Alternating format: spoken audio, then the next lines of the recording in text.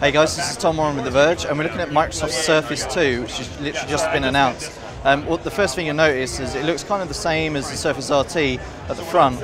Um, if we spin it to the back, there's a nice silver option, and um, Microsoft's actually taken away the Windows logo and replaced it with the, the Surface font at the back there.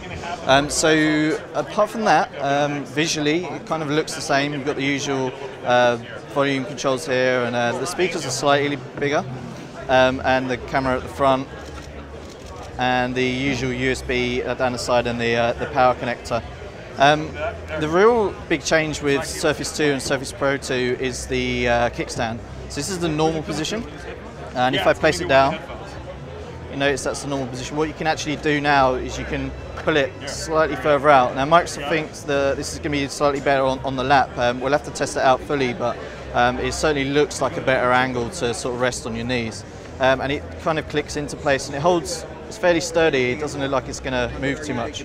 Um, now, the, the, other new sort of thing today is a new type cover 2, um, which has a, a, bunch of new colours. So this is the uh, pink option. It's coming in blue as well. Um, now, this is actually thinner than the original uh, type cover by about a millimetre. Um, and the, the actual surface is also a little thinner too. Um, actually, overall, it feels really light, even with the, the cover on and it, especially with the cover cover off, it's actually considerably uh, like noticeably lighter. Um, then the, original Surface RT wasn't particularly heavy, um, so that wasn't really a complaint. But um, it's nice to see them sort of uh, trimming it down and making it a bit lighter.